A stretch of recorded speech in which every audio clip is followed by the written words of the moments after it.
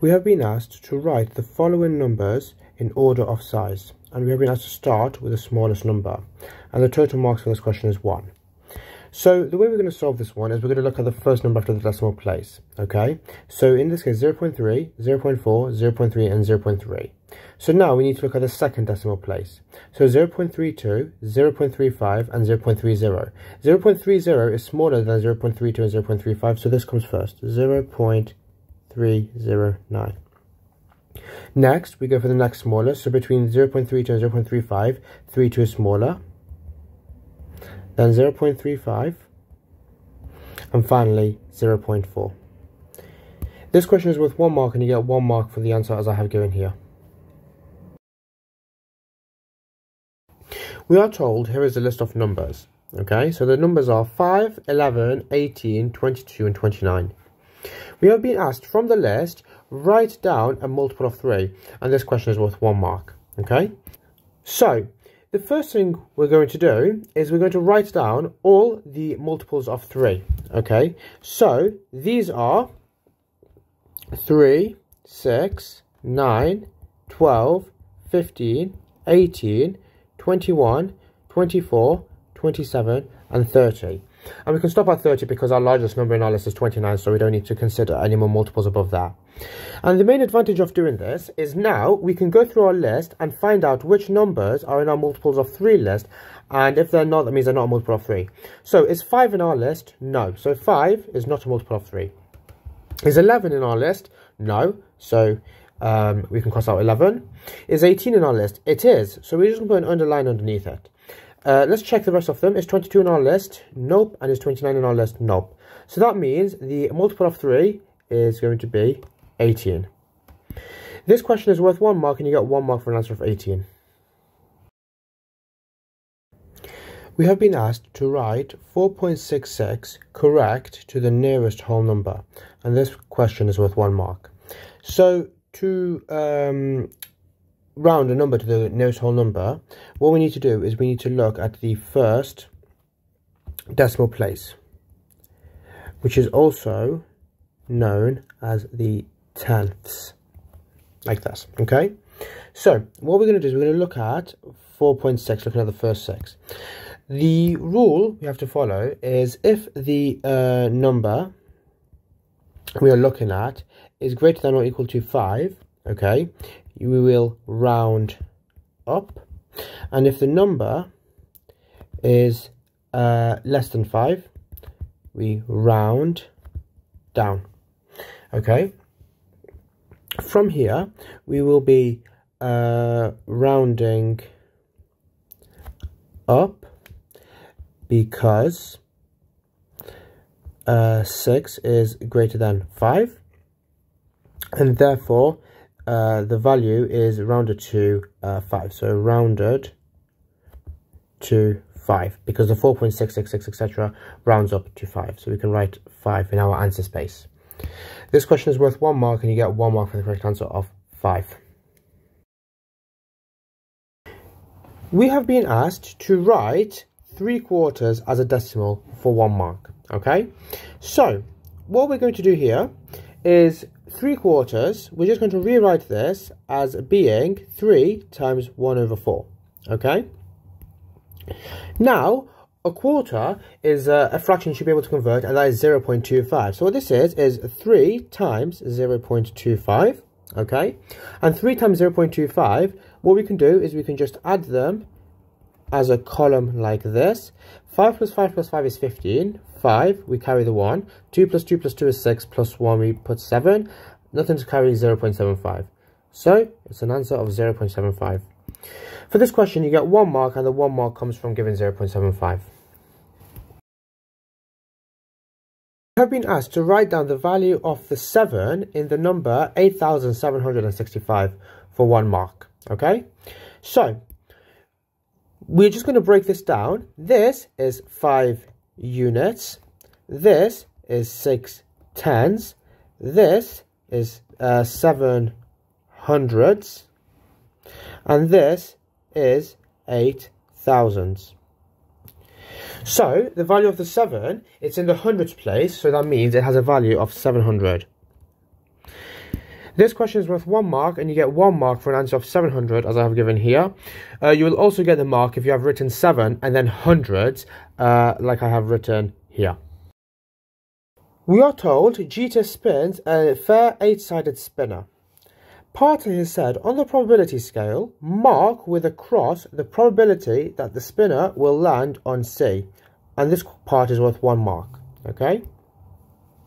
So, the reason it's important that they've told us it's a fair spinner is it means it is not biased. Okay? So, it will not favour one of these triangles more than the rest. Okay?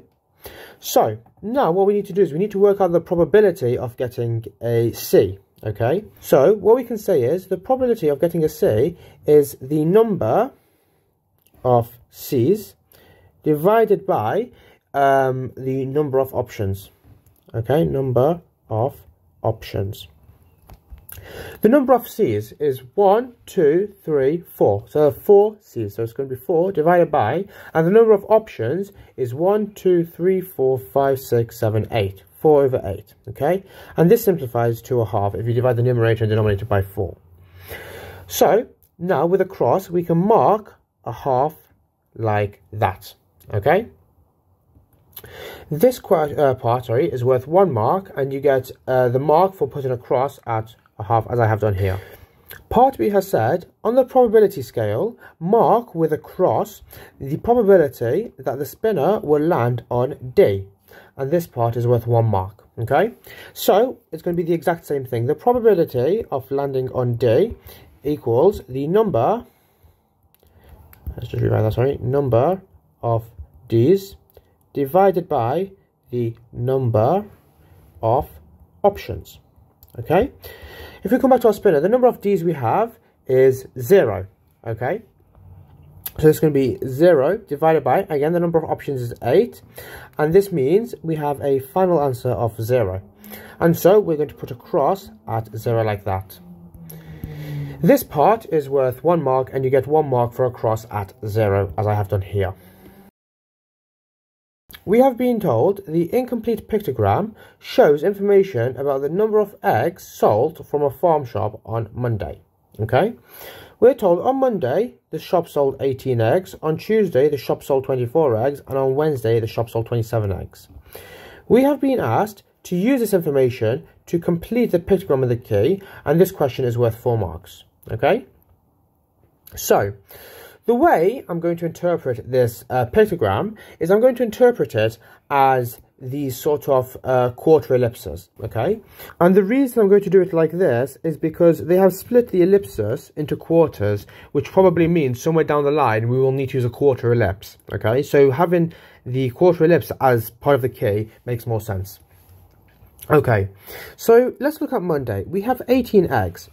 Now let's count how many quarters we have. One, two, three, four, five, six. Okay, so we have six quarter circles. So six quarter ellipses actually, sorry, they're not circles, equals 18 eggs, okay?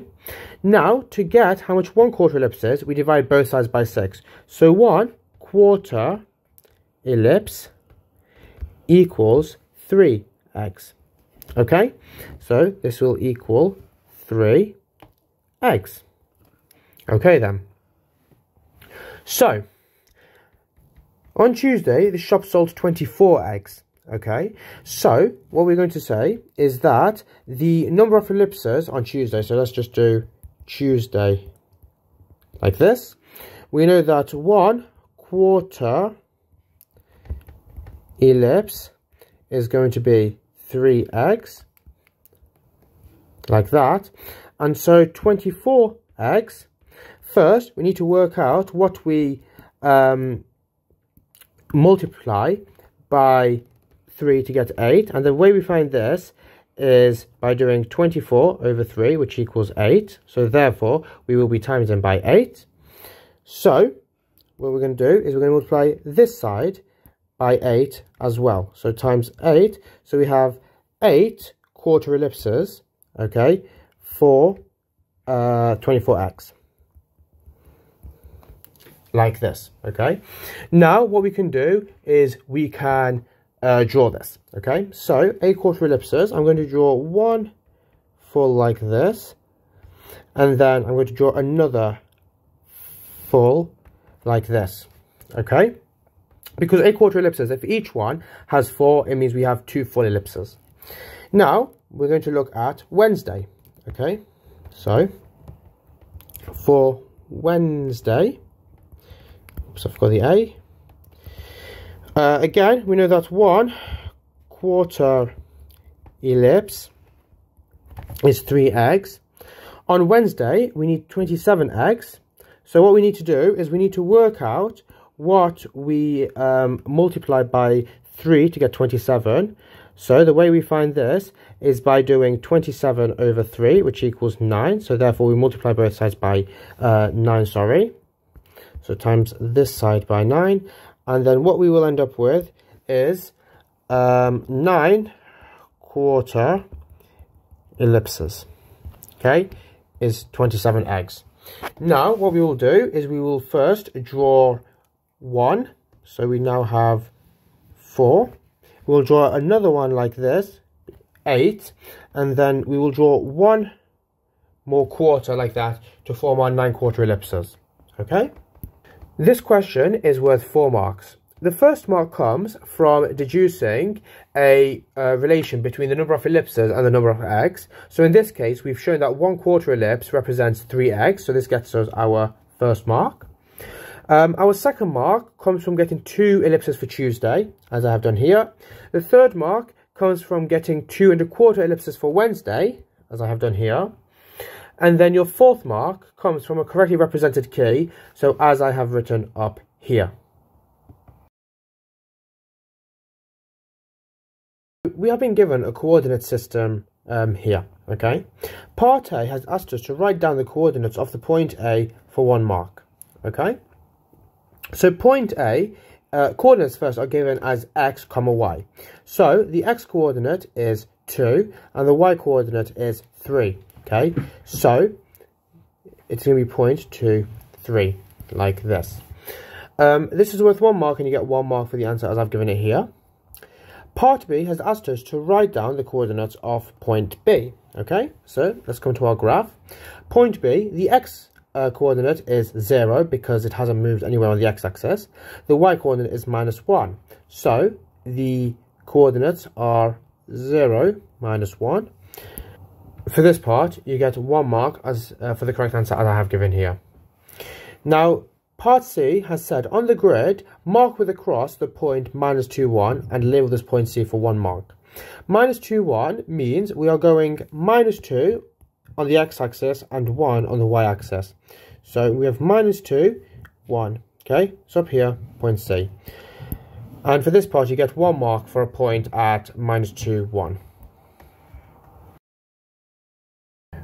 We are told a bag contains red counters and blue counters only. The number of red counters to the number of blue counters is 3 to 4. Part A has asked us to write down the fraction of the counters that are red for one mark, okay? So the fraction of counters that are red is going to be the number of red counters divided by the number of counters as a whole, okay? The number of red counters from our ratio is 3, and the number of counters as a whole is 3 plus 4, which equals 3 over 7. So we can write 3 over 7 in our answer space. This part is worth one mark and you get one mark for an answer of 3 over 7.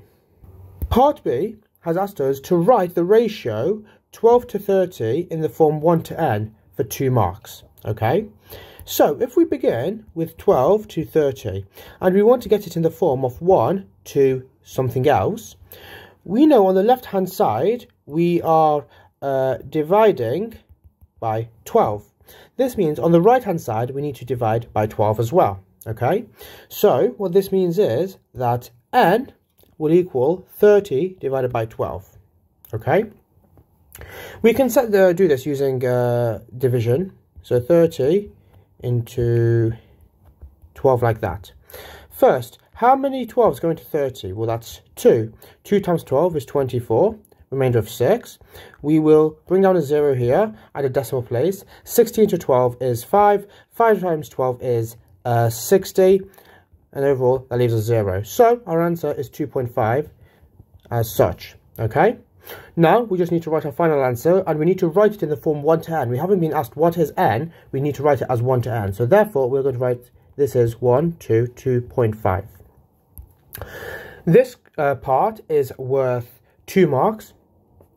The first mark comes from knowing that you need to do 30 divided by 12, as we have here.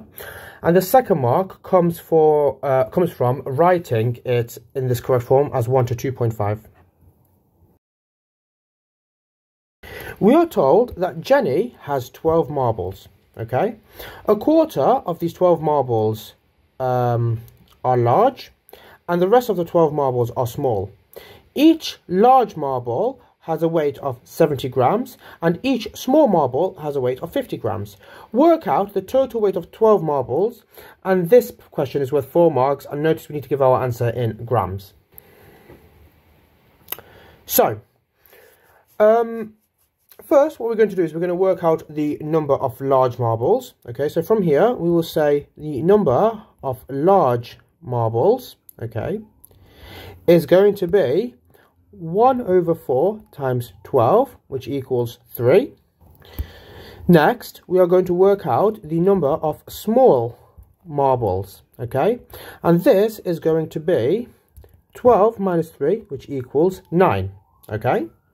We know that we now know that each large marble has a weight of 70 grams. Okay, so the total weight, so weight of large marbles is going to be the number of large marbles times the weight of each large marble. Okay, sorry, weight of large marble. Okay, substituting the values we have, the number of large marbles is 3, the weight of each one is 70, and then 3 times 70, well that's 3 times 7 times 10, which is 210 grams. Okay, let's just include our units here. Now, we are going to find the weight of small marbles. Okay, and this is going to be the number of small marbles times the weight of small marble. Okay? The number of small marbles, as we found, is 9. So it's going to be 9 times, and each small marble has a weight of 50 grams, 9 times 50 grams, which equals 450 grams, because you have 9 times 5, which is 45, and then the 45 times the 10 is 450 grams. So, the total weight, okay, can be found by doing um, the sum of the weight of the large marbles plus the weight of the small marbles. As such okay? This equals 210 grams plus 450 grams okay? A bit of column addition on the side like this. 0 plus 0 is 0, 1 plus 5 is 6, and 2 plus 4 is 6. So we are looking at a total weight of 660 grams, and we can just put 660 as our final answer like this. So for this question, you get four marks. A first mark comes from a process to work out the number of large and small marbles, as we have done here.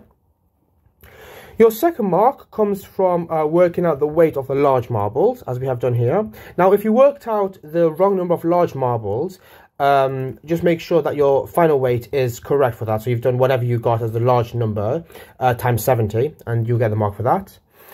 Um, or you can work out the number of small marbles, either way. Um, your third mark comes from knowing that you need to uh, sum the weight of small and large marbles as we have here. And your fourth mark comes from getting the correct answer, 660, as I have given here. We have been asked to reflect the shaded shape in the mirror line for two marks, okay? So we have our mirror line here, which is a uh, vertical line. And what I'm going to do is I'm going to map each of our vertices to where it should land, okay? And by that I mean, let's start off with this point here, okay, we can see that it is 1, 2 away from our mirror line, okay? So this means it'll be 1, 2 away on this side. It will land here. This one is 3 away, so it'll be 3 away here. This one is 4 away, so it'll be 1, 2, 3, 4, 1, 2, 3, 4, like that, okay? Uh, this point here is 1, 2, 3, so 1, 2, 3, like that. This point is 1, 2, 3, 4, 1, 2, 3, 4, like this. And at this point, we've gotten all of our uh, vertices mapped, and all we need to do is join them up, okay, in the same way that they are joined up on our right-hand side. Okay, now in the exam, you should really do this with a ruler, but I don't have a ruler uh, on my tablet, so we're just going to freehand it. We have a vertical line here, which is for this vertical line here. We have a horizontal line here for this horizontal line, vertical, horizontal, sorry vertical, horizontal, and then we're going to have a diagonal line from this vertex to this vertex, something like that, okay? So this question is worth two marks.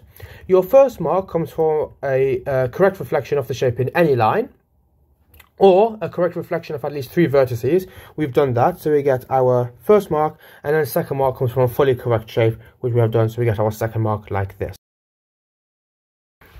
We are told the diagram shows a number machine, okay? So we have an input, gets multiplied by 2, subtracted 3, and then we get the output. We need to find the output when the input is 7 for 1 mark, okay? So find the output when the input is 7 for 1 mark. Okay, so we will start off. 7 times 2 is 14. 14 minus 3 is 11. Therefore, very simply, our output is 11. You get one mark for this part and one mark for a correct answer of 11. Part B has asked us to find the input when the output is 41 for two marks, okay? So the first thing I'm going to do is I'm going to rewrite our function uh, generator as a uh, equation, okay? So we do 2 times the input and we minus 3, okay? So we're going to say for an input n, the output equals 2n minus 3. Okay, in this case, we know our output is 41. So we say that 41 equals 2n minus 3.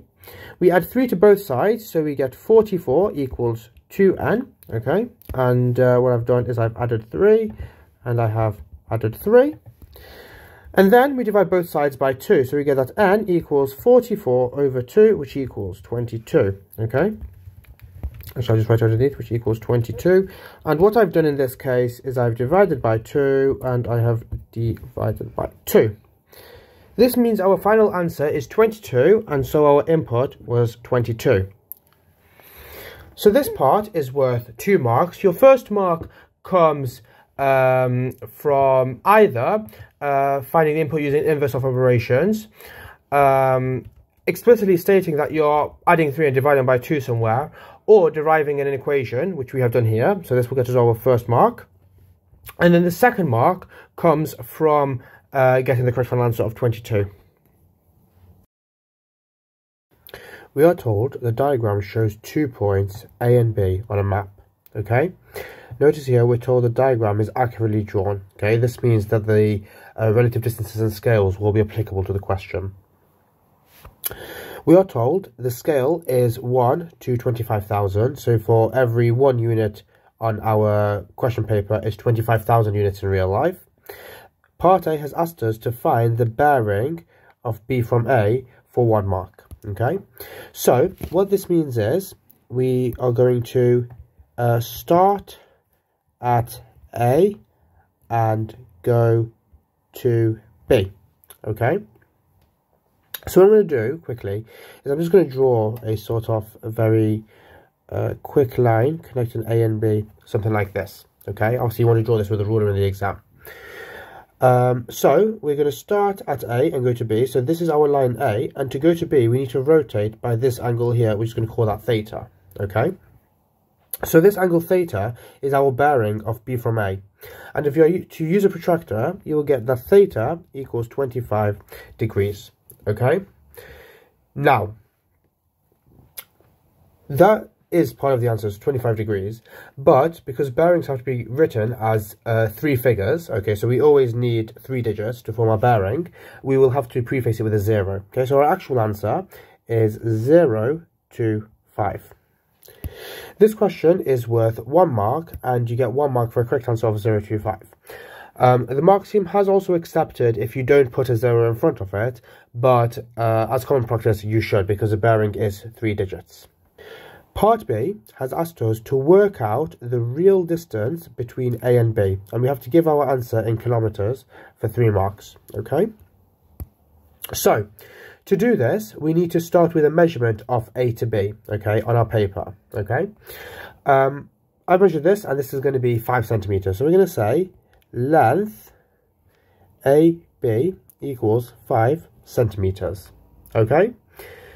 Now, if we're going to convert 5 centimetres um, using our scale, okay, we're going to have to set up a ratio, okay? So I'm just going to come down here and I'm going to say 1 um, maps to 25 uh, oops, there's a dot there, thousand, like this. So we have five.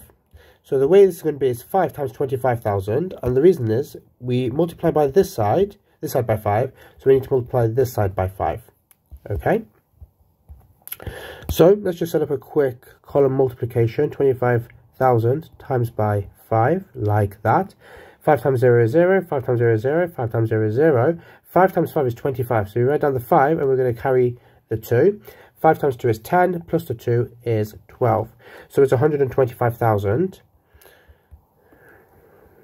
centimetres. Okay? To convert this into meters, we're going to divide by 100. Okay, so we're going to say 125,000 centimeters equals um,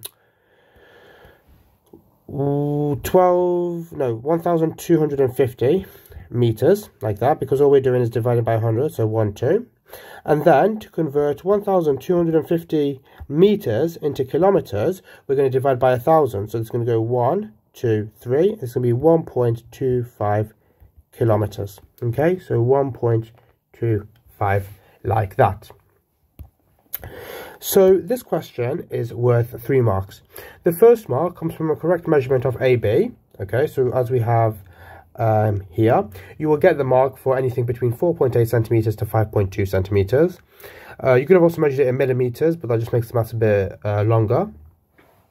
Your second mark comes from using the scale factor to correctly convert uh, your 5 centimeters uh, by multiplying by 25,000. Okay, so as we have done here. And your uh, third mark comes from a uh, answer in the range of uh, 1.2 to 1.3 okay? So you know getting 1.25 kilometers uh, as our final answer like this.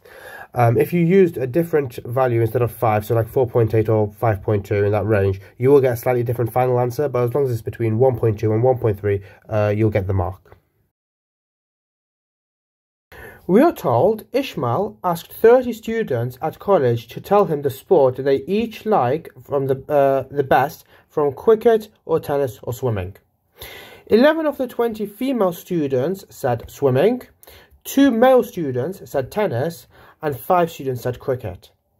The number of male students who said cricket was the same as the number of male students who said swimming. We have been asked to complete the two-way table for three marks. Okay?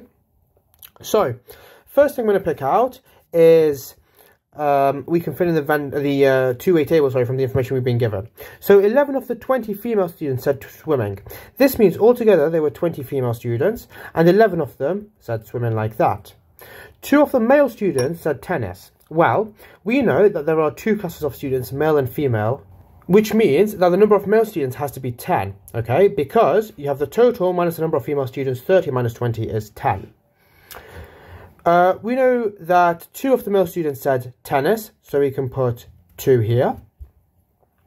Now, let's look at what else we can fill out. And we're told that five students said cricket. Okay, so we have five students like that. Now, the number of male students who said cricket was the same as the number of male students who said swimming. Okay, so if we're just going to call this one X, and we're going to find it later. Okay, let's start putting brackets. So, male students, we know that uh, x plus 2 plus x equals 10, okay? From here, x plus x is 2x, so this means that we get 2x, uh, let's rewrite that, 2x plus 2 equals 10, 2x equals 8, and what we've done is we've subtracted 2 from both sides. And then rearranging this, we get that x equals 4, uh, dividing both sides by 2. Okay, so the number of male students who like cricket is 4, and the number of male students who like swimming is 4. The number of female students who like cricket has to be 5 minus 4, which is 1, because this needs to total to 5. The number of swimming uh, uh, students who like swimming as a whole is 4 plus 11, which is 15. And now the total number of female students who like swimming, so we're going to call this one Y, is we're going to say that 1 plus y plus 11 equals 20. 1 plus 11 is 12, so we're going to have 12 plus y equals 20, and we have y equals 8. And what we've done in this case is we have subtracted 12 from both sides, like this. Okay, so let's remove the y and call this one 8.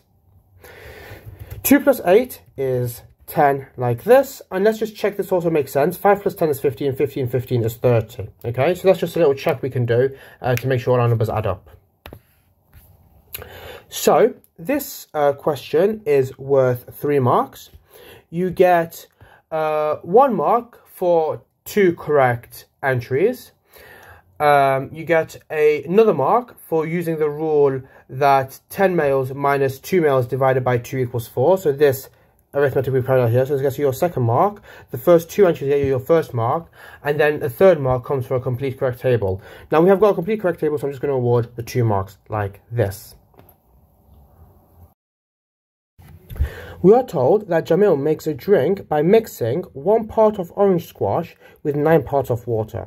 He uses 750 milliliters of orange squash.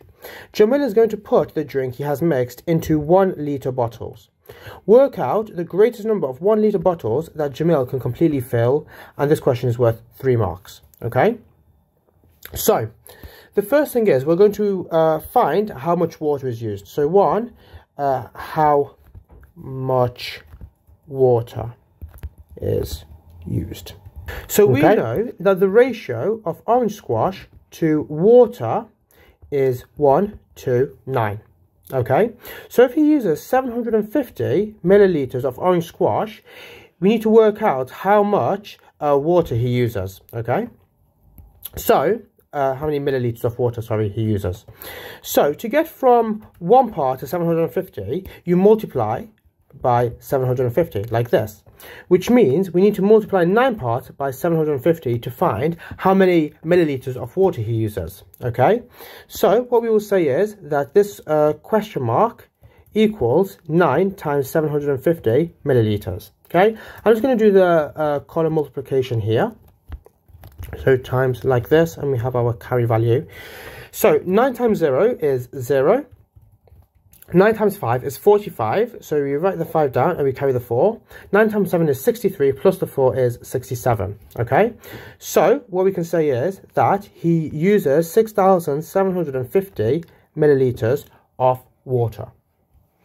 The next step, uh, next thing to do is to work out how much uh, fluid slash juice there is.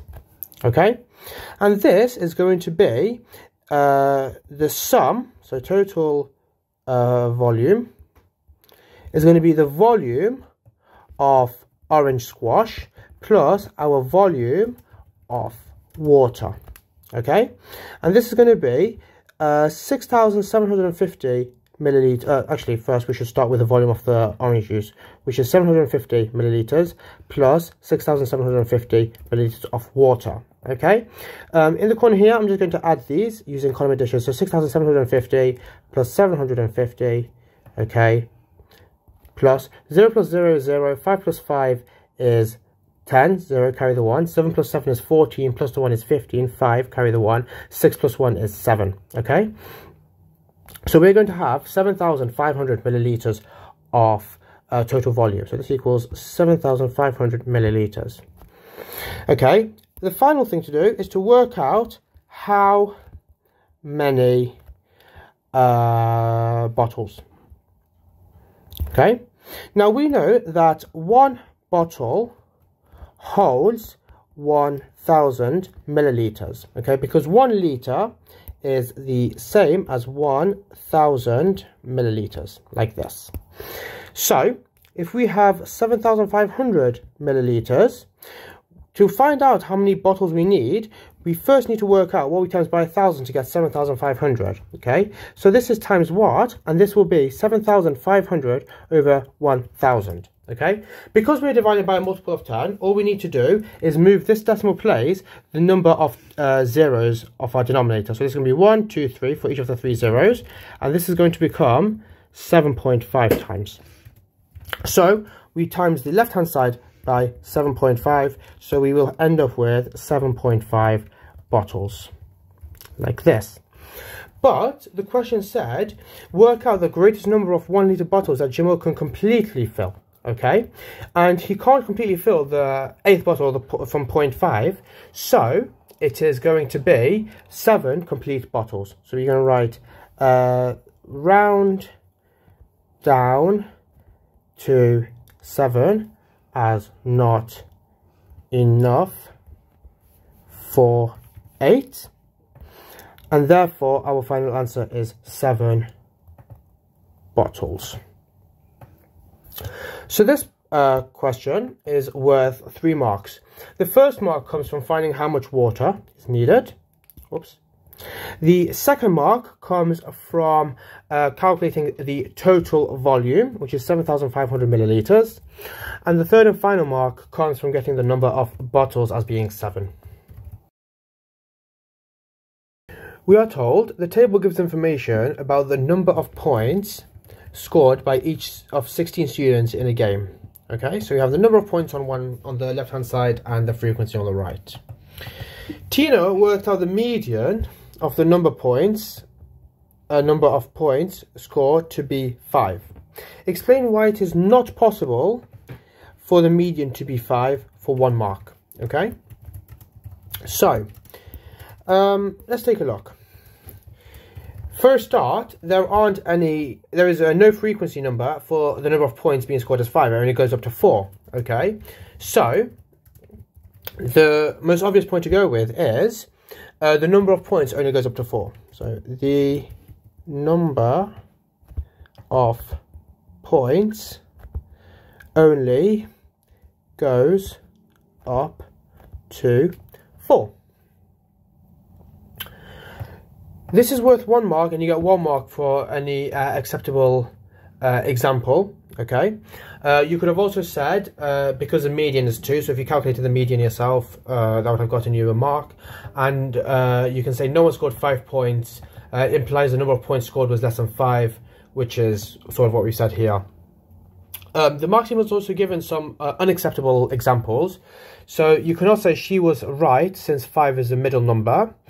She has used the wrong column, so if you said that, that is insufficient. You need to uh, explicitly state that uh, it's the number of points only goes up to 4.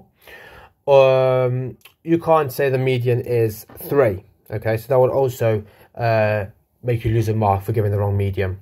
We are then told Tina also worked out the total number of points scored by the 16 students in the game okay? Here is her working all right? Tina made a mistake in her working so she made a mistake in her working to find the total number of points scored. Describe the mistake that tina made okay uh, for one mark. So let's evaluate this okay? Let's first check that she's done the correct multiplication okay? So the first is 0 times 1 so the number of points times 1 that is correct 1 times 3 1 times 3 that is correct 2 times 5 2 times 5 is correct 3 times 4 3 times 4 is correct and 4 times 3 4 times 3 is correct so what she has done she has correctly uh, got the multiplications that need to be carried out to work out the total number of points scored and she intends to sum them. So that's all good. Okay, now let's check her uh, results, okay? So 0 times 1, well, she's written 1 as 0 times 1, and that is not the case, okay? So, the uh, mistake that she has made is she has said 0 times 1 uh, equals 0, not 1, as Tina has stated. Okay? This part is worth one mark and you get one mark for a answer as I've stated here. You could have also said uh, anything times zero is zero, okay, which uh, explains, which says the same thing. Uh, however, you have not gotten the mark for saying the correct answer is 37.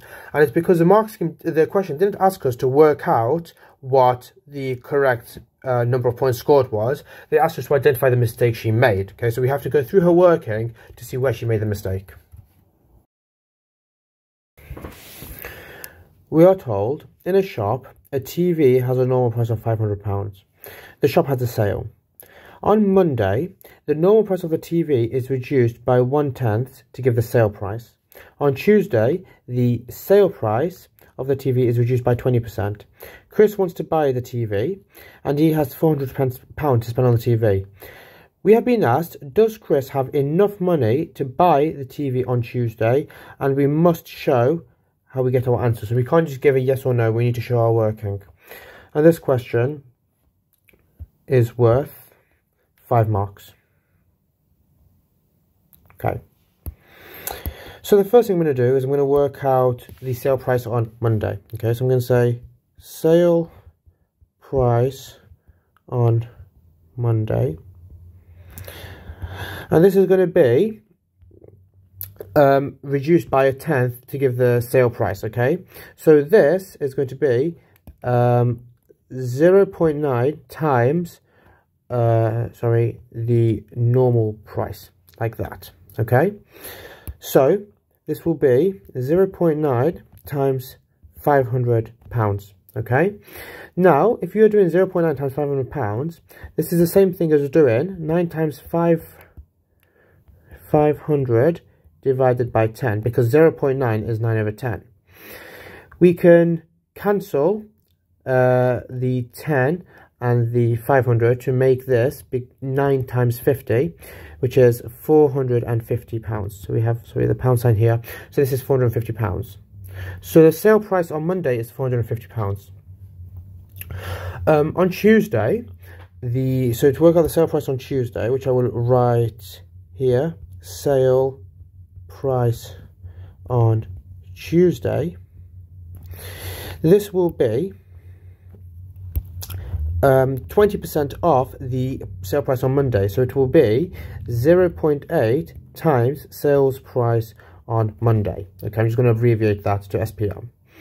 So this will be 0 0.8 times the sale price on Monday is 450 pounds okay so it's going to be times 450 now to work this out we are going to have to do um, some long uh, multiplication okay so we will have here 450 times 0 0.8 so the first thing we do, we do 8 times 0, which is 0. 8 times 5, which is 40, 0. We carry a 4. 8 times 4, which is 32, plus 4 is 36. Okay. Um, we will bring a 0 here because we're dealing with the next term. Then we have 0 times 0, which is 0, 0 times 5, which is 0, and 0 times 4, which is 0, like this.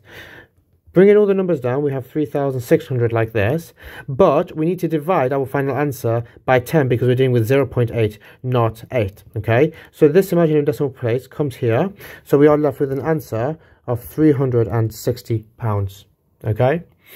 From here, we can say Chris has 400 pounds. So right now, right now we are forming our conclusion to make it uh, rock solid so the examiners have to award us all the marks. So using the information from the question, we're told he has 400 pounds. Um, 400 pounds is greater than 360 pounds. This is the part you have to include. So we are saying that the amount Chris has to spend is greater than the price.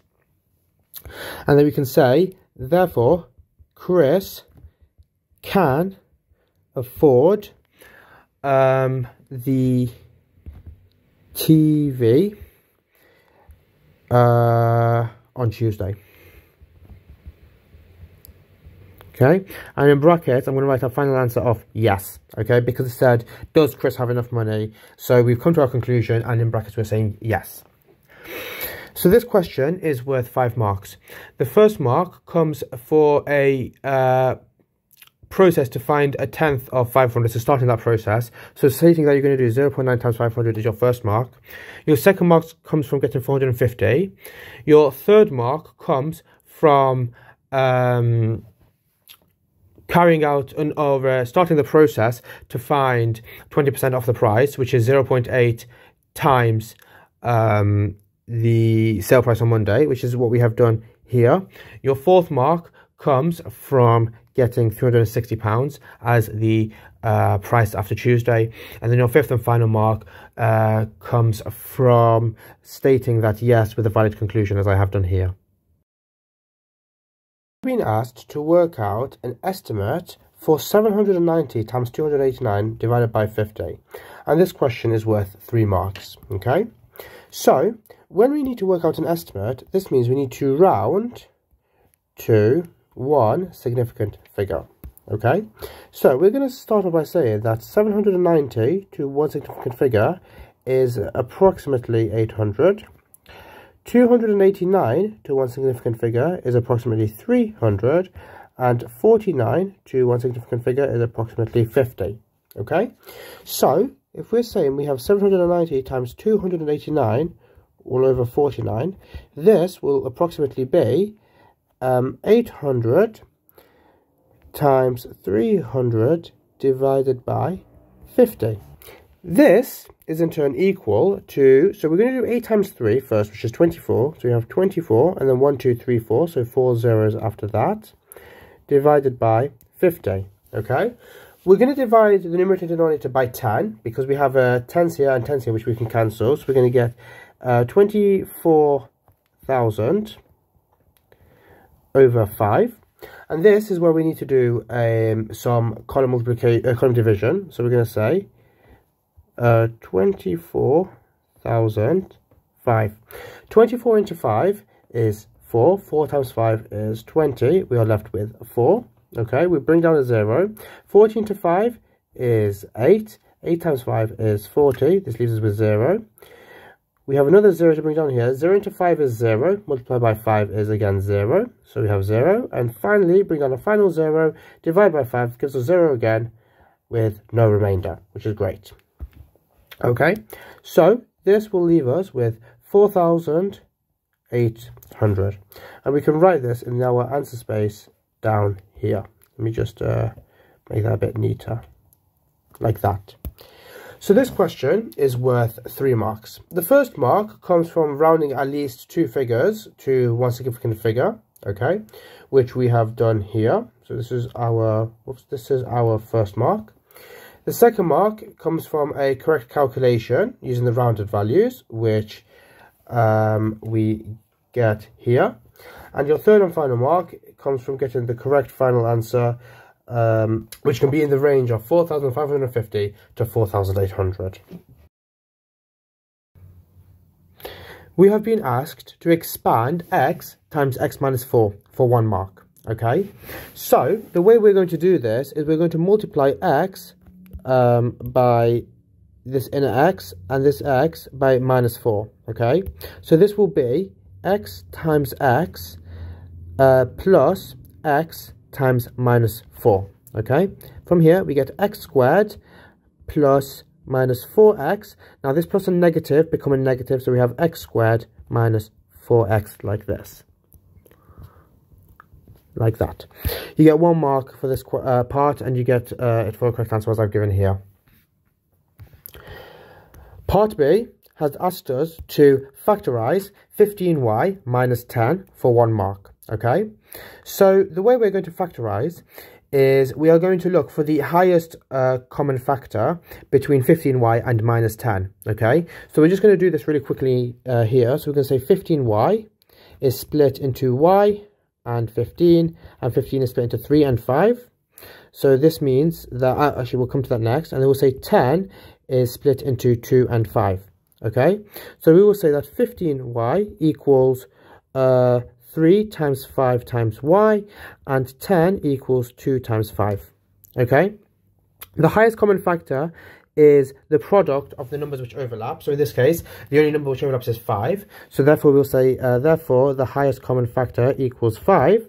And we can do this by saying that 15y minus 10 equals 5. And then in brackets, we're going to do 15y divided by 5, which is going to be 3y. And we're going to do minus 10 divided by 5, which is going to be minus 2. So we will have an answer of 5 times 3y minus 2. This part is worth one mark and you get one mark for the correct answer as I've given here. Part C has asked us to solve 7 uh, times f minus 5 equals 28 for 2 marks. Okay, so what we're going to do is we're going to start off with our question here, f minus 5 equals 28. We're first going to get that f minus 5 equals 4. And the way we get this is we do uh, divide by 7 on this side and divide by 7 on this side. So f minus, so 7 times f minus 5 divided by 7 is just f minus 5. And 28 divided by 7 is 4. Then what we're going to do is we're going to get that f equals 9. And the way we get this is by adding 5 to both sides. So f minus 5 plus 5 is just f. And then 4 plus 5 is 9. So this means that f equals 9. You get two marks for this part. The first mark comes um, from a division of both sides by 7. So it's this step here. And the second mark comes from a correct final answer, as I have given here. We have been given the first five terms of an arithmetic sequence. Okay, these are 1, 4, 7, 10, 13. We have been asked to write down an expression in terms of n for the nth term of the sequence for two marks. Okay, so what we're going to do, I'm going to rewrite the numbers here, 1, 4, 7, 10, 13. The first thing we're going to do is we're going to find the difference between term to term. Okay, so we're going to say uh, term to term rule. So here we add 3, here you add 3, here you add 3, here you add 3. This means that there will be a 3n term. Okay, so now to find our constant, we will start with n, our term, 3n, and our term minus 3n like this. Okay, so we have 1, 2, 3, 4, 5. So we have n for 1, 2, 3, 4, 5. Our terms are 1, 4, 7, 10, 13. 3n is going to be 3, 6, 9, 12, 15. Now term minus 3n, okay? So 1 minus 3 is minus 2. 4 minus 6 is minus 2. 7 minus 9 is minus 2. 10 minus 12 is minus 2. And 13 minus 15 is minus 2. So from here, we can see that the term to term rule is 3n minus 2. Like this. And we can just write this in our answer space like that. So, for this question, you get two marks, and you get two marks for uh, stating 3n minus 2. Like that we have been asked to show that 2 and a third times 3 and 3 quarters is 8 and 3 quarters, okay? And this is question is worth 3 marks. So the first thing we need to do is we need to convert mixed numbers, so as we have been given here, where we've got a whole number and a fractional part, to improper fractions. Okay, so let's do that. 2 and a third well, the way we convert it is we multiply the whole number by the denominator and we add the numerator. So 2 times 3 is 6 plus 1 is 7. So it's going to be 7 over 3. Okay. Then we have 3 and 3 quarters equals 3 times 4, which is 12 plus 3, 15. So 15 over 4. Next, what we need to do is we are going to multiply, uh, multiply improper fractions. Okay, so we are going to say that we need to do 2 and a third times 3 and 3 quarters. This equals 7 over 3 times 15 over 4. So, notice here we can make a simplification, okay? So 3 and 15 can be simplified. If we divide 3 by 3, we get 1, and if we divide 15 by 3, we get 5. Okay, so this comes from uh, dividing by 3. Okay, I'm just going to include this as a little note there. What this means is we will be left with 7 times 5 over 1 times 4, which equals 35 over 4. Now the next step is to convert this back into, an, uh, to an, into a mixed number, sorry. So, to do that, we first need to know the smallest multiple of 4 that is uh, closest to 35, okay? So what this means is we're going to start 4, 8, 12, 16, 30, uh, sorry, uh, 20, 24, 28, 32, and then we have 36 after that, but we don't have enough to get 36 because that's to be less than 35, so it's going to be 32. So this is going to be 32 over 4 plus 3 over 4, okay? This is our whole number. This will form our fractional part. This will equal 8 plus 3 over 4, which gives us 8 and 3 quarters. Let me just write that a bit neater, 8 and 3 quarters like that, as we have been required by the question. so this question is worth 3 marks. The first mark comes from um, converting your mixed numbers to improper fractions. Your second mark comes from multiplying out your improper fractions.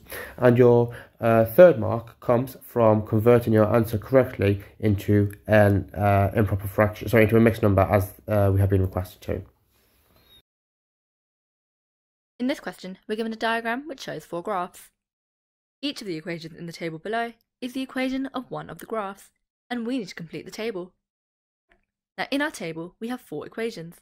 We have the graph of y equals minus x cubed, y equals x cubed, y equals x squared, and y equals 1 over x. We need to have a rough idea of what each of these graphs look like. Now we'll start with the graph y equals x squared, because we should be most familiar with this graph. y equals x squared is a quadratic graph, and we know that the graph of y equals x squared looks like the diagram on the right. Now another graph that we might be familiar with is the graph of y equals x cubed, which roughly looks like the sketch on the left. Now you may not have come across the graph of y equals minus x cubed, but if you know what the graph of y equals x cubed look like, we can use our graph transformations in order to figure out what the graph of y equals minus x cubed looks like. The graph of y equals minus x cubed is a reflection of the graph y equals x cubed in the x-axis and so by reflecting the graph of y equals x cubed in the x-axis, we get a graph that looks something like this, which is the graph of y equals minus x cubed. Now the last graph is y equals 1 over x, which is a reciprocal function. Now you may not have seen this graph before, but it's important that you familiarise yourself with this graph because it could come up in your exam. The graph of y equals 1 over x looks like this. Well, now that we've drawn a basic sketch of each of the four graphs, we can match them to each of the diagrams above. We'll start with the graph of y equals minus x cubed, which looks like this. We can see that graph B looks like the graph of y equals minus x cubed. Now let's move on to the graph of y equals x cubed. Out of the four graphs, graph C is the graph of y equals x cubed. And so the graph y equals x cubed corresponds to the graph C. Next we have the graph of y equals x squared, and we know that graph D is the graph of y equals x squared. And that leaves us with the graph of y equals 1 over x. We know that the graph of y equals 1 over x must be graph A, because graph B, D, and C have already been taken. And so we can say that the graph of y equals 1 over x corresponds to the graph A. Now this question is worth 2 marks and we get the full 2 marks for matching each of the four graphs to the correct letter. Allowing us to get the full 2 marks needed in this question. We are told the diagram shows four triangles. So we have A, B, C and D. Okay. We are then told two of these triangles are congruent. Okay. Write down the letters of these two triangles for one mark. Okay. So, we first need to understand what congruent means. And congruent means same. Okay, so we need to look for two of the triangles which are exactly the same. Right, so let's start uh, filling in some information from what we know, okay? For triangle A, we know this angle is 55, this angle is 45. This angle, okay, has to be 180 minus 55 minus 45. So this is going to be 180 minus 55 minus 45 okay so 55 uh, minus 4 so 55 plus 45 to find the sum of these two angles is 100 so you have 180 minus 100 and this means this is 80 degrees we can't really work out any more angles in this triangle or this triangle but we can in this one Okay, so this angle here is going to be 180 minus 80 minus 45. 180 minus 80 is 100. 100 minus 45 is 55. Okay, so this triangle is 55 degrees, like that. So, what can we see here? Well, we can see triangle A and D have three of the same angles. They both have a 55 degrees here, 80 degrees here, and 45 degrees here.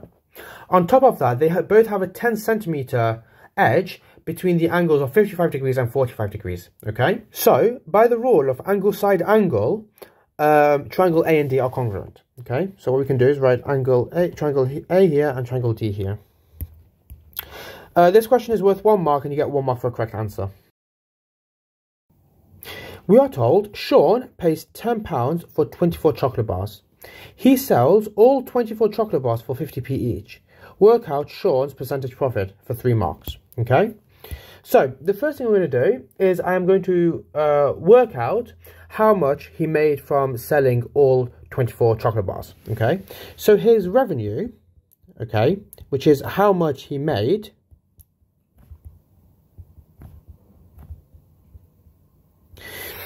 um, is going to be uh, 24 times. So we're going to, I'm going to work in terms of pounds here because it makes it easier. Okay. So this 50p has to be converted to zero pounds 50 like that. Okay. Times zero pounds 50.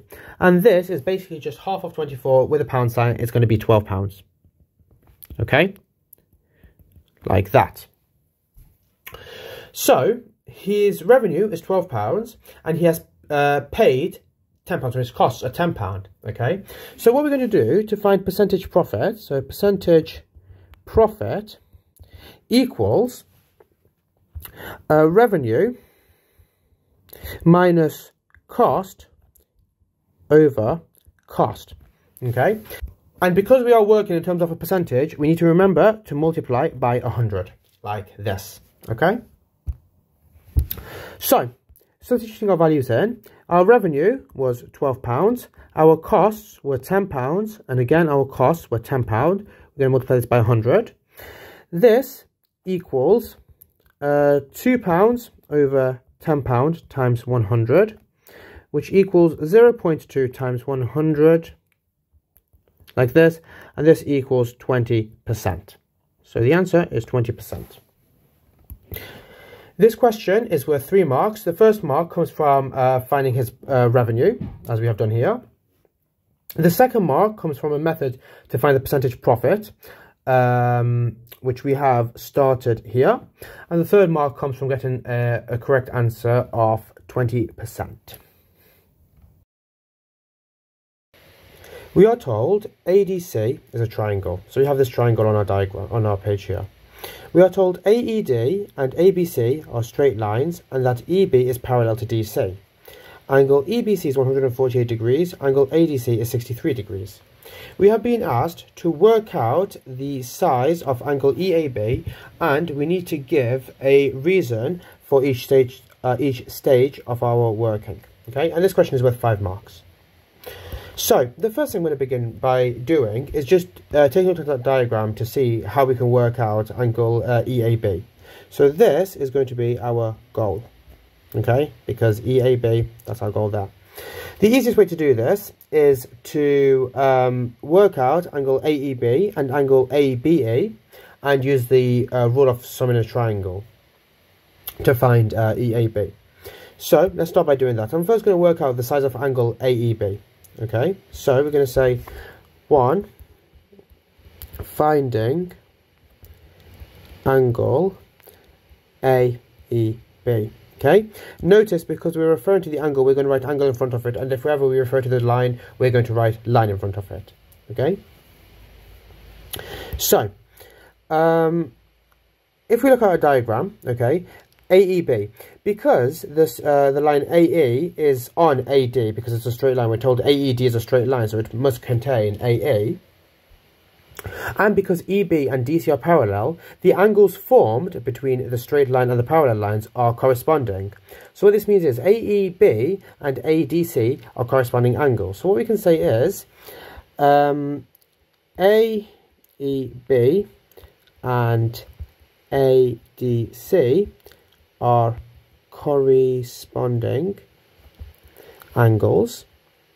Okay, and this is because AE is on the line AED. Okay, let's just make that a bit neater. AED, like that. Um, and uh, let's move this full stop. And EB and DC are parallel. Okay, so that is the criteria that are needed for two angles to be classed as corresponding. And then the rule from this is, so what we can say is the implication is that AED equals ADC, like that, okay? So, because we know ADC, so ADC, this angle is 63 degrees, we know that uh, AED equals 63 degrees as well. So we're just going to add that to our diagram as 63 degrees. Next, we can work out angle ABE. Okay, so I'm going to say uh, 2, finding angle, uh, what do you say was, sorry, ABE. Okay, now, the way we're going to do this is we're going to first notice that the line ABC is a straight line and angles on a straight line sum to 180 degrees. Okay, so we're going to start by saying uh, ABC, so the line ABC is a straight line. And angles on a line sum to 180 degrees okay? Um, so what we're going to say is that angle ABE plus, what is the other angle? It is uh, EBC plus angle EBC equals 180 degrees. So we know that angle EBC is 148 degrees, so plus 148 degrees equals 180 degrees like this. We are going to say that ABE equals 180 degrees uh, degrees minus 148 degrees and all we've done is we've subtracted 148 degrees from this side and 148 degrees from this side. Um, to get from 148 to 180 we first add 2 degrees to get to 150 and then 30 to get to 180 so this means that ABE equals 32 degrees. So we're going to come to our diagram Okay, ABE, this is 32 degrees. Okay, the third step is to find uh, angle EAB from what we have. Okay, so we, I'm actually just going to do it up here so I don't have to keep scrolling down. I'm going to say 3, finding uh, EAB. Like that. Okay, so we're going to say that EAB, so EAB plus AEB oops, uh, plus ABE equals 180 degrees, okay? Um, we're going to substitute our values from our triangle, so we can say that EAB plus AEB is 63 degrees plus 32 degrees equals 180 degrees, okay? 63 uh, degrees plus 32 degrees, well 60 plus 30 is 90, 3 plus 2 is 5, okay so we will have uh, 95 so EA uh, sorry EAB plus 95 degrees equals 180 degrees EAB is 180 degrees oops 108 let's try that meter like this minus 95 degrees um, to get from 95 to 100, you add 5 degrees. To get from 100 to 180, that's 80 degrees. So that is 85 degrees like that. And we can say, in conclusion, that um, therefore, angle EAB equals 85 degrees. Okay, and before we finish, we're just going to add some justification to um, our working up here. And we're going to say that uh, angles in a triangle sum to 180 degrees. Okay, so now we've worked out uh, three individual angles. We've given our justifications for the rules we have used and why we can use those. And we've also shown step by step the maths we have done. Okay, so there's absolutely no place where we can lose marks now uh, because we've met all the criteria for the question. So this question is worth five marks. Your first mark comes from the correct use of corresponding angles to find AEB, okay? So, because there are a lot of marks and they're all over the place, I'm just going to put a little mark next to them to tell you which mark uh, comes from which part, okay? So our first mark is for this. The second mark um, is a complete method to find angle EAB. Okay, so as we saw, this is a two-step process. Your first step is to find angle ABA. So this is the first part of your second mark. And your second part of your second mark comes uh, up here from using the uh, rules of a triangle uh, to form this equation. Okay, so that will get your second mark. Your third mark comes from stating that angle EAB is 85 degrees. Okay, we have stated that down here. So this is your third mark. Now your fourth and fifth mark uh, are both coming from the explanations you have given. Okay, so uh, this is where you have explained uh, why you have used a particular rule. All right. So, for example, uh, the first one we can apply to is by saying that line ABC is a straight line and angles on a line uh, sum to 180 degrees. Okay. So this will get us our fourth mark. Okay. Uh, because we've mentioned angles on a line sum to 180 degrees. And then our fifth mark is again the same principle, just elsewhere, and we can apply it actually to where we've written about the triangle, angles in a triangle sum to 180 degrees. Uh, this is enough justification for our fifth mark, okay? Other things you could have said, if you explicitly stated corresponding angles are equal, you would have gotten the mark. Um, if you took a different approach and you were referring to allied angles slash co-interior angles, so um, instead you were looking at the triangle ADC and you ended up working ACD, you would have had to use allied angles or co-interior angles. You could have said those add up to 180 degrees. Um, you could have also talked about the exterior angle of a triangle that's equal to the sum of the interior opposite angles if you went down that road. So all of these ones would have gotten you uh, your fourth and fifth mark depending on how you use them. We are told the table shows information about the heights in centimeters of a group of year 9 girls. Okay, so we have a least height of 150 centimeters, a median height of 165 centimeters, and a greatest height of 170 centimeters. We're then told the stem and leaf diagram shows the information about the heights in centimeters of a group of 15 year 9 boys. Okay, so we have a stem and leaf diagram here uh, with along with our K. This question has asked us to compare the distribution of the heights of the girls with the distribution of the heights of the boys. And this question is worth three marks. Okay, so when we are looking at comparing um, distributions, the two things we need to consider are the median as a measure of uh, central tendency and the range as a measure of spread, okay? So, let's first find the uh, median and the range for the girls, okay? So we're told the median is 165 centimeters, so we can just keep that.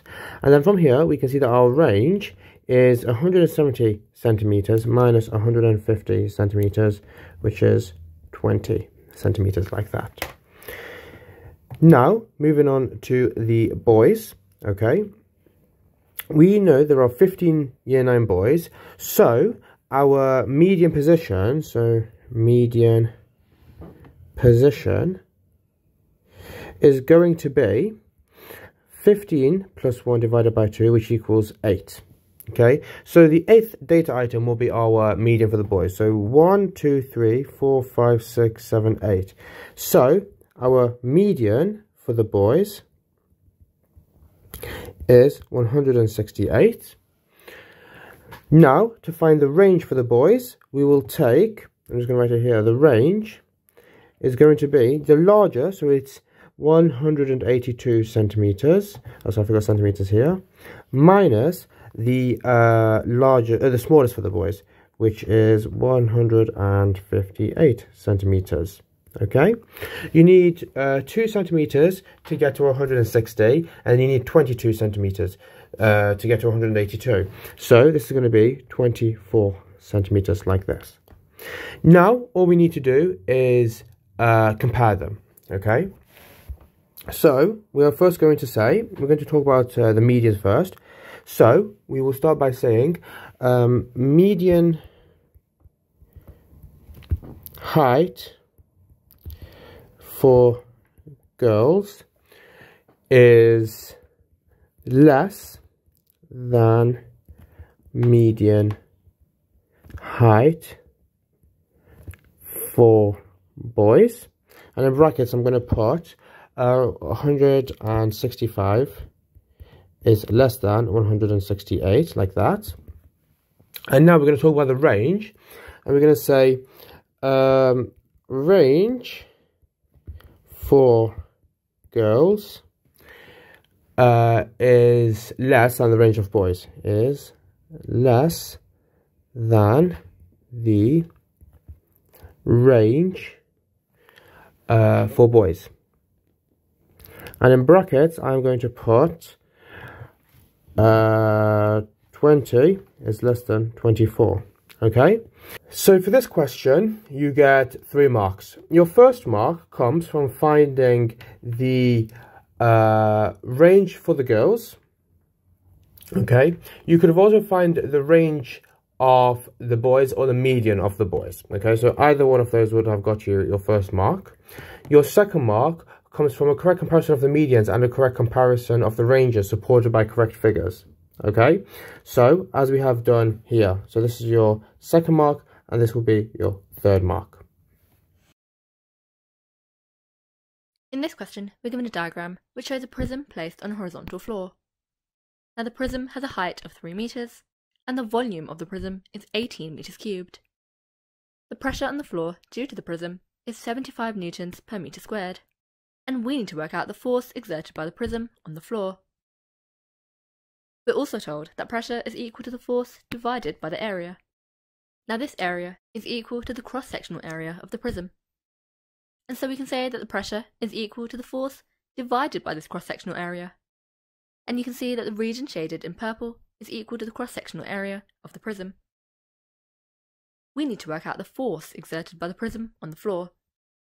And so in order to find the force using the formula, we need to find the pressure and the cross-sectional area. Now we already know that the pressure on the floor due to the prism is 75 newtons per meter squared. And in order to find the force, we need to work out this cross-sectional area. We're told that the volume of the prism is 18 meters cubed, and we know that the prism has a height of 3 meters. And so we can say that the cross-sectional area is equal to the volume of the prism divided by the height. We have a volume of 18 and a height of 3.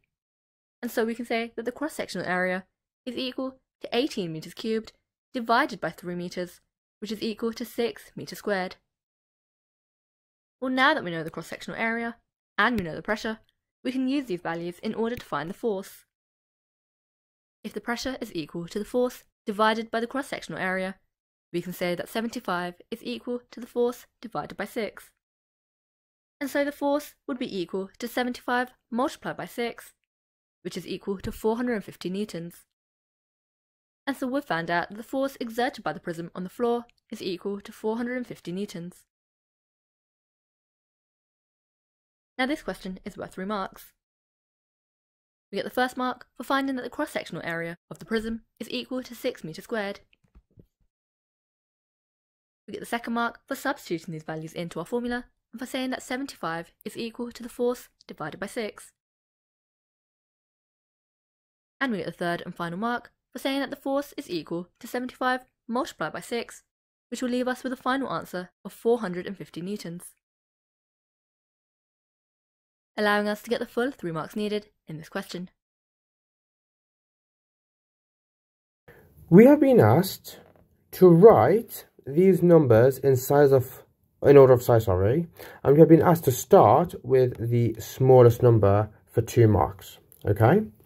So, what I'm going to do first is I'm going to convert all of these numbers so they are in the same form, okay? And that form will be standard form, okay? So, um, standard form. And our standard form, where A is between 1 and 10, notice the strict inequality because it includes every number up until but not including 10. Okay, so 6.72 is in this form, so that's all good. So to change 67.2 times 10 to the minus 4 into this form, okay, we are first going to divide this by 10. Okay, so what this means is it will be 6.72 times 10 to form 67.2 again, times 10 to the minus 4, 6.72 times 10 to the minus 3, because 1 minus 4 is minus 3. 672 is going to be uh, 6.72. Now, because we've got 672, it's times 100 times 10 to the 4.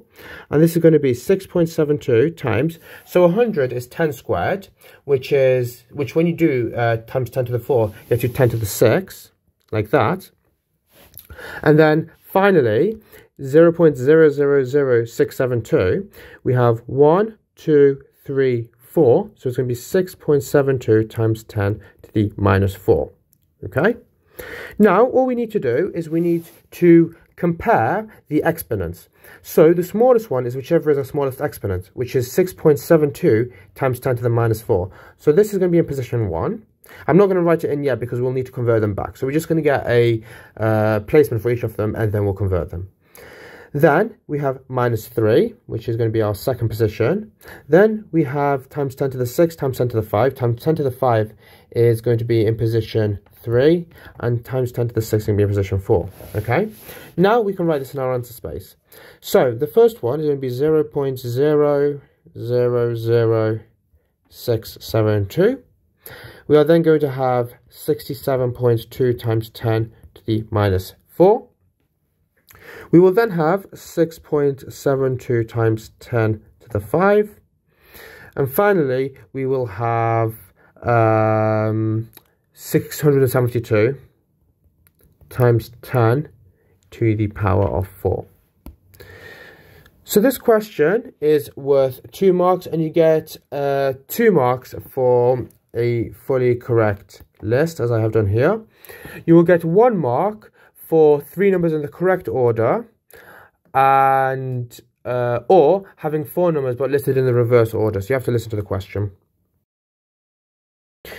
We are given that a over b equals 2 over 5 and b over c equals 3 over 4. We have been asked to find a, b, c, a to b to c. Okay, so what we're going to do is we're first going to take a to b as being 2 to 5. And this is because the ratio A over B is 2 over 5. So the ratio A to B is 2 to 5. Okay? Then we will do the same thing for B to C. Okay, so B to C equals 3 to 4, like that. So, to get it in the form A to B to C, the common term here is B. Okay, so in one case it's 5, in one case it's 3. So, to find B, we need to find the lowest common multiple of 5 and 3. And this is going to be 15. Okay? So, what we then need to do is we need to take each of our ratios and scale them up. So b equals 15. Okay, so if we start with a to b is 2 to 5. To get 15 on this side, we are multiplying by 3, which means this side needs to be multiplied by 3. So we will have 6. Now, B to C is 3 to 4. And to get 15 on this side, we need to multiply by 5 and multiply by 5 on this side. This will get us 20. Okay, so now we have A, B and C, and we can write our final answer as being 6 to 15 to 20. This question is worth 3 marks. The first mark comes from uh, setting A to B equal to 2 to 5 and B to C to being 3 to 4. So as I have done here. Your second mark comes from um, you finding the lowest common multiple of uh, whatever B would be, so 5 and 3 to get 15, and scaling up the ratios um, individually. And your third mark comes from a correct final answer. We have been asked to make Q the subject of P equals 6Q plus 7 for 2 marks. So, what we're going to do is we're going to start with P equals 6Q plus 7. oops, equals. Now we're going to isolate 6q, okay? So we're going to say p minus 7 equals 6q. And what I've done here is I have um, subtracted 7 from this side and subtracted 7 from this side. And this is going to mean that q equals p minus 7 over 6. What I've done is I've divided by 6 and I've divided by 6, like this. So we will end up with q equals p minus 7 over 6. This part is worth 2 marks. You get 1 mark for um, isolating uh, 6q and you get 1 mark for uh, getting the correct final answer. Part B has asked us to simplify m to the power of minus 2 or to the power of minus 3 for 1 mark. Okay? To do this, we're going to use the rule that if you have a to the power of x and then in brackets to the y, this equals a to the xy. Okay? So, in this case, if we have um, m to the minus 2 or to the power of minus 3, this equals m to the power of minus 2 times minus 3, which equals m to the power of 6. So we can write that in our answer space like that. So this question is worth one mark and you get one mark for the correct final answer.